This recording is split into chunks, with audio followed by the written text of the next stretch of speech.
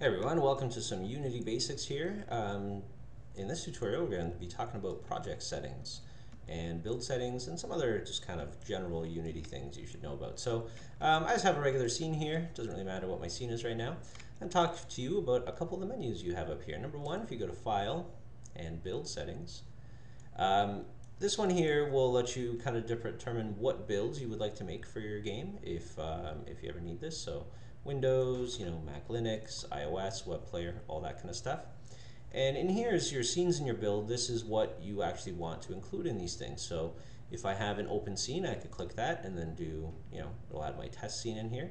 But I could also, if I have, you know, test 01, I can drag that in there and it'll include all of these. So if you're ever doing any uh, scripting for level load, any of that kind of stuff, um, you're using these indexes or names, uh, these levels need to be included into this build settings in order for you to actually build them over.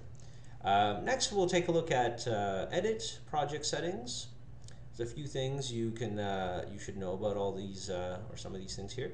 Uh, input, this is where you name and do all your inputs for your games in case uh, you need to add new ones like you're adding a new mechanic to your game, you want to do, you know, um, shoot unicorn fire out of your butt, you can make a unicorn button, right? Name it whatever you want, and then through code you can just call the actual name of the button. That one's pretty simple. Um, tags and layers, this is where you can add new tags and layers to your game. Uh, tags are these little guys on an object, and layers are over here. Tags we use for finding um, specific objects through code, like players, enemies, whatever you want. So if you want uh, an enemy to enter uh, a trigger volume, then um, you say, you know, when something enters a trigger volume, if it's tagged as enemy, then you can do something. Otherwise, don't do anything. So tags are nice that way. Uh, layers are really good for uh, a couple things. One, you can use them for rendering, lighting, all that kind of stuff. You can use them for code and physics and all that. Um, but also just as a nice thing, if I take all my meshes and I set my layer, if I add a layer here, to you know floors and then I go here and I name this one floor. Um, in my layers kind of pull out here on the editor, I could just turn off floors. And then if I just don't want to look at something, I don't have to. So uh, we do this in our games for things like uh, really far background assets or foreground assets that kind of interfere with the camera. Um, nice for game time, kind of crappy for editor editing kind of time. So we set them on layers, and then we could hide stuff um, and that way it doesn't get in the way, which is super sweet. Next, if we go to project settings, uh, we have audio and all that. You have time as well. So uh, this is your time scale. This is how fast your game will actually run. So you know, if you want to slow things down, you can change this to 0.5. Right? If you want to speed things up, you can set this to 2. Um, so you can always mess around with that through code if you need to. And your fixed time step, this one's important if you're doing um, any physics-based assets and um, um you kind of want to improve the quality of your game. um, this is how often Unity will check physics. Um, so if you want this to be a lot faster, you can set this to 0.1, or if you really want to be crazy, you can set it to like 0.001. Um, the lower you set this number, the more often Unity is going to have to check for physics updates, which means it will run slower. Um, but your physics will look way cooler, um, and they'll they'll act differently and stuff too. But uh, if you're working on a really physics heavy game, really good thing to mess around with, make sure that that's all working the way you want it. Um, so the ones I really want to talk to you guys about is player. Um, this is kind of where you set up the actual, this is actually where you set up your um, stuff for the actual game when you make the build. So if you open this up, number one, you have your resolution and presentation.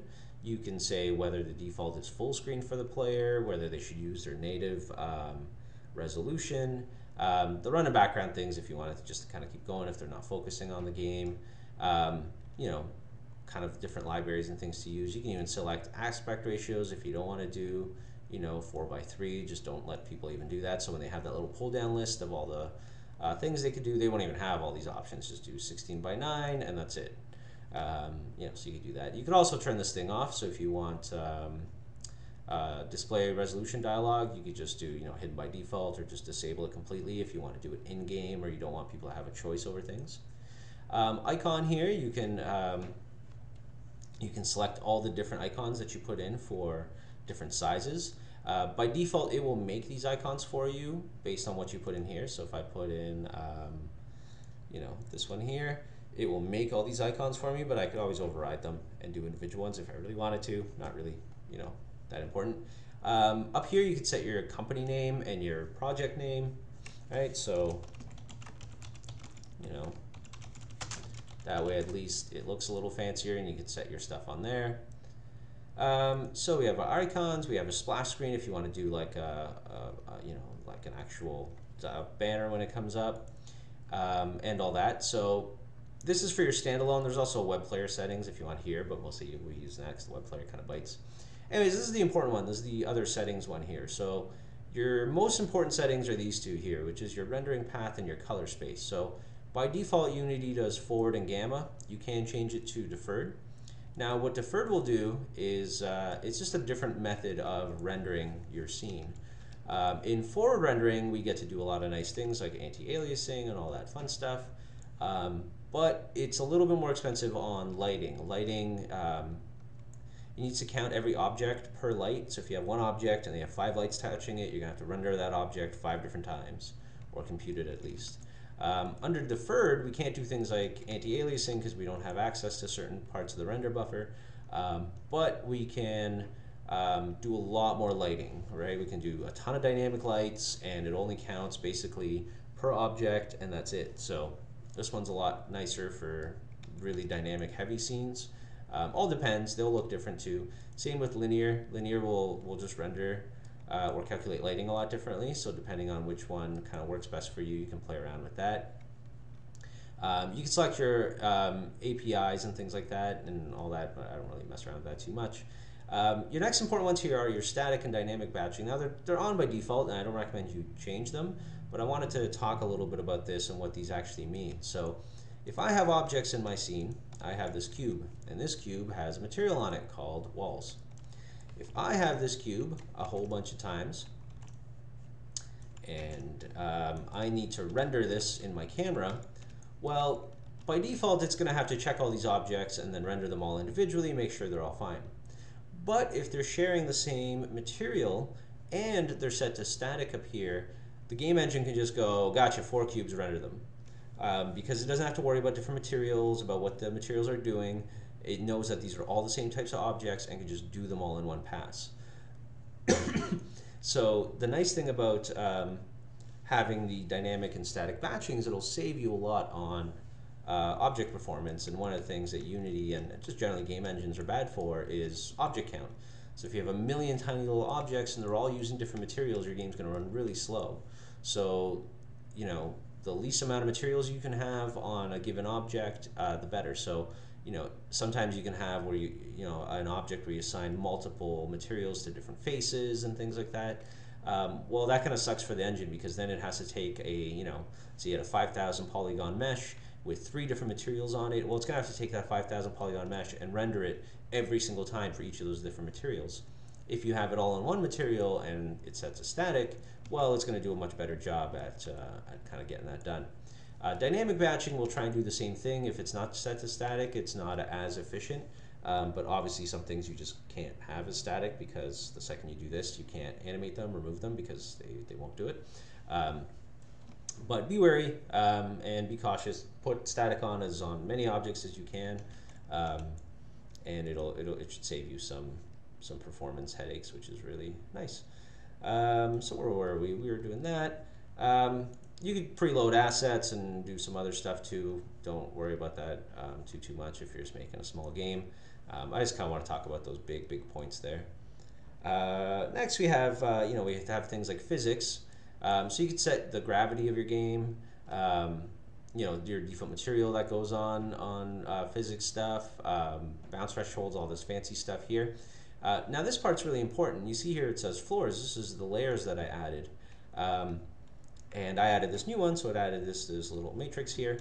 Um, what this is really useful for is if I have two objects and I have one that's tagged as player, one that's tagged as whatever, or on different layers, and these things are flying around doing stuff, and I, I need physics on both of these. I need to find out when they're colliding with certain objects, but I never want these two things to touch in physics. I don't want them to be triggering each other, pushing each other, and all that.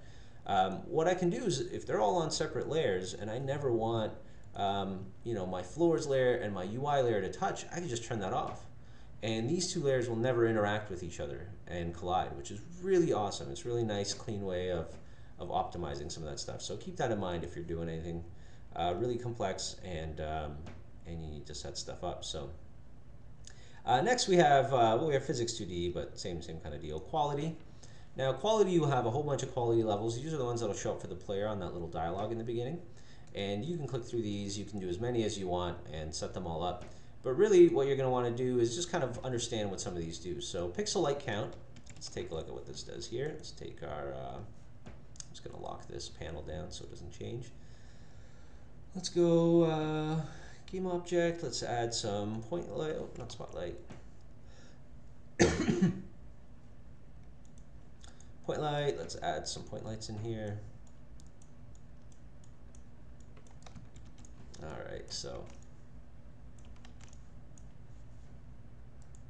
uh, one second here. Let me just. Uh,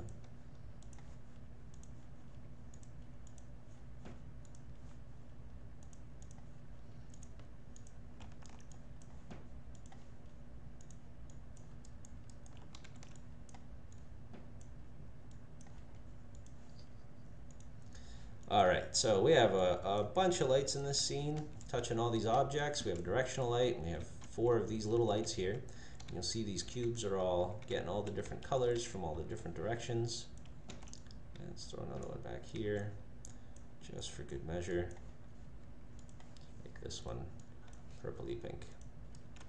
All right, there we go. So by default, my Fantastic is set up to do four pixel counts. Now if I set that down to one,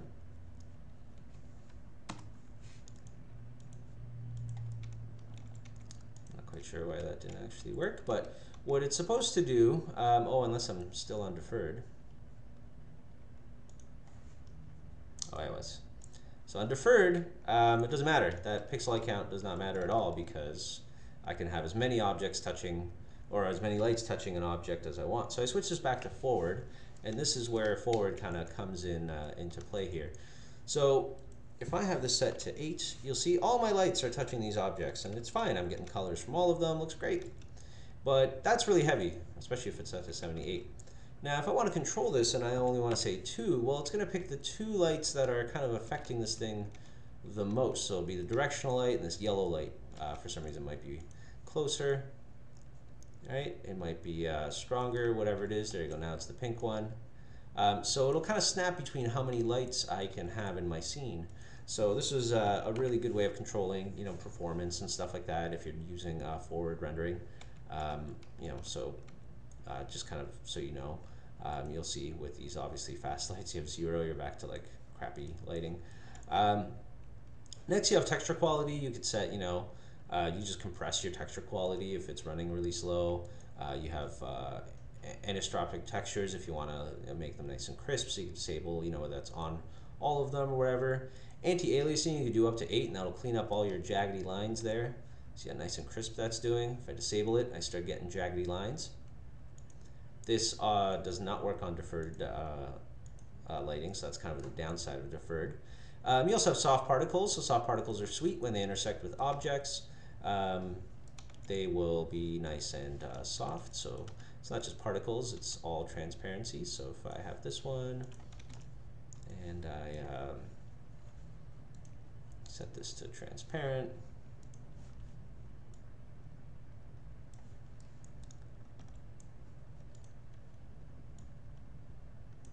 Oh, I thought it did it for all objects. I guess I was wrong.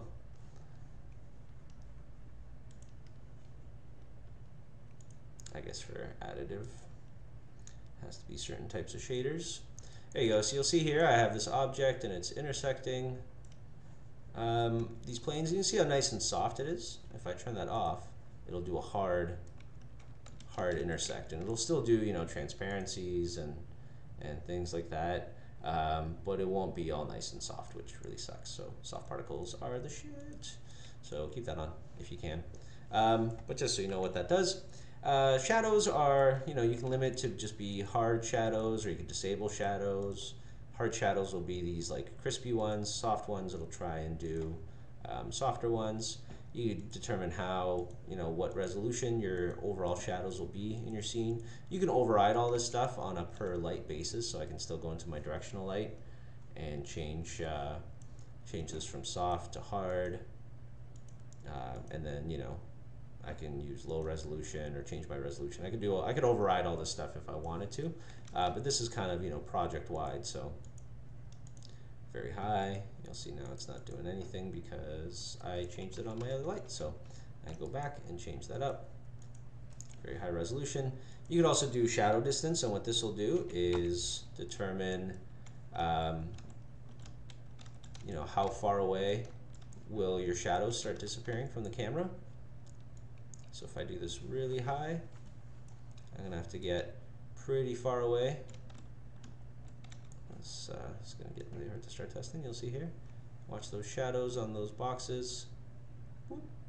So I could determine when shadows stop getting calculated. So really good for really big scenes and things like that. Um, and you, you know determine how many cascades, how uh, how crisp. So it'll try and do like really high shadows close to the camera and, and low ones off further far away. Uh, this is the bones thing I talked about. So this is where you can set your project-wide bones um, scale. Um, this is your VSync, so uh, you can do every VBlank, which will um, do like a nice crisp VSync um, and make sure you don't get any screen tearing and all that stuff. You could do every second VBlank, which is you know okay but not as nice, and then you do don't sync, which uh, won't do that at all, which you get screen tearing. Uh, basically what this does is sometimes your game will run at uh, 60 frames a second, sometimes it'll run at 30, sometimes it'll run at 200. Um, and this is when VSync really comes in handy. So instead of trying to force down 200 frames a second, which is really hard to do, um, every VBlank will force it down to 60 frames a second. It'll just clamp it down to that. So then you won't get any crazy ass um, frames trying to jump on here and, and look really silly. Every other VBlank will limit your build to 30 frames a second, which again is still nice, but um, obviously not as nice as 60. So use those as you want. Uh, don't sync won't limit your build to anything, so if you want it running at 200 frames a second, you can, but you might get some really weird looking stuff in there too.